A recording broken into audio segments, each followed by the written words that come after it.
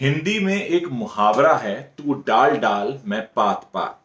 और कुछ ऐसा ही खेल चल रहा है एनसीबी और रिया चक्रवर्ती के लॉयर सतीश माने शिंदे के बीच।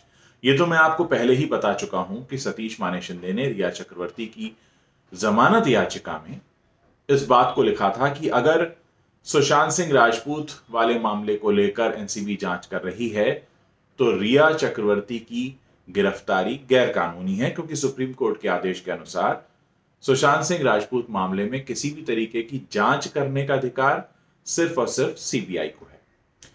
आज इस जमानत याचिका की सुनवाई होनी है और आज से एक दिन पहले पहले यानी कल रात एनसीबी ने एक एफिडेविट फ़ाइल कर दिया है। मैं आपको बता दूँ कि एनसीबी ने इस बात का जवाब देने के लिए रिया चक्रवर्ती को दो एफआईआर में नामजद कर दिया है।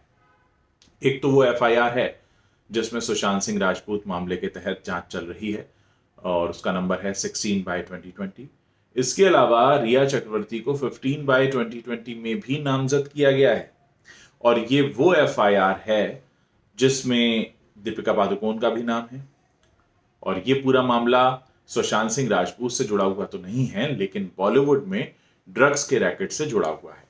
तो ऐसे में अगर अदालत ये कहती है कि रिया चक्रवर्ती को रिहा किया जाए क्योंकि रिया चक्रवर्ती पर कार्रवाई करने का अधिकार, क्योंकि वो सुशांत सिंह राजपूत मामले में आरोपी हैं, सिर्फ़ और सिर्फ़ सीबीआई को है तो ऐसे में एनसीबी अपना पक्ष ये रखेगी कि उन्होंने रिया को दो अलग अलग मामलों में नामजद किया है, यानी सुशांत सिंह राजपूत वाले मामले में तो है ही, इसके अलावा जो दूसरी एफआईआर है 15 बाय 2020 तो इस बार एनसीबी पूरी तरह से तैयार है कि किसी भी तरह शौविक और रिया इनकी रिहाई ना हो पाए।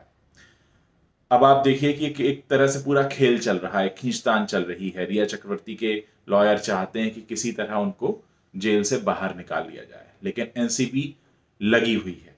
एनसीबी ने इस बात की भी पूरी तैयारी कर ली है कि अगर अदालत में मामला ये आता है कि इस पूरे मामले में सीबीआई को आना चाहिए एनसीबी कैसे गिरफ्तारी कर रही है तो एनसीबी ने फिर एक और मामला भी तैयार रखा है। तो आज देखते हैं अदालत में क्या होता है। आज का दिन काफ़ी महत्वपूर्ण है। और आगे जो भी अपडेट होगा, मैं आपको देने आता रहूँगा।